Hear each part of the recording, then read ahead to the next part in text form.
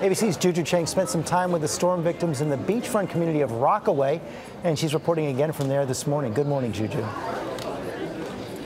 Morning, George. We're in the Rockaways where a group of New Yorkers, a group of friends organized online, and they're here distributing hot coffee and donuts, which is about as good as it gets on a bitter cold morning.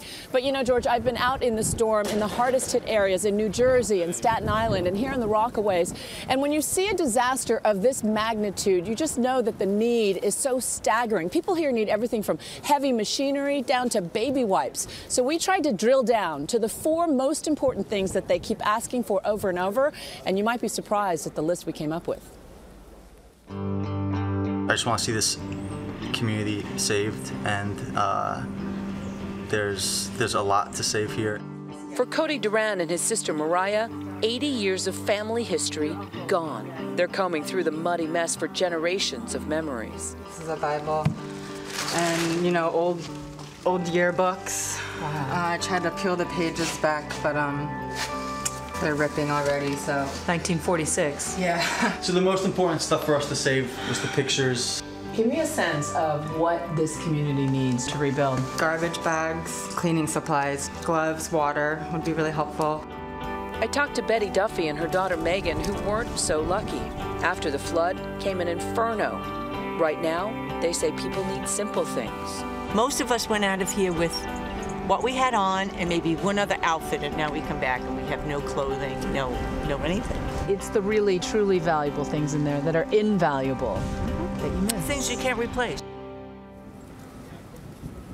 In the hardest hit areas, George, what we heard over and over, the most surprising thing they needed was porta potties. People seem to be getting bottled water okay, but when there's no plumbing, it's the one thing people were getting testy about one week out from the storm. Two, people want generators. There are literally thousands of homes up and down this shoreline with flooded basements, and the only way to get that water out is through pumps, and so they need generators.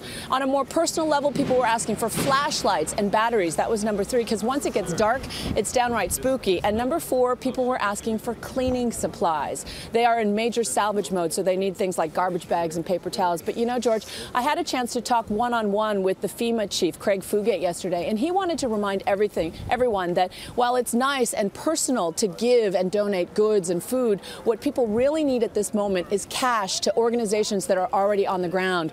It just adds another layer of complexity if you show up with goods. But George, that's why what we're doing with the telethon is so Abs important. Absolutely right, Juju. Thanks very much. We want to funnel that money through the Red Cross. That is why all morning long, our ABC family and friends are manning that phone bank right there. Call 1 800 HELP NOW to donate for hurricane relief. And we just found out, you know, a lot of calls are coming in. You might get a busy signal. If you get a busy signal, make sure you call back. We're so excited by the response.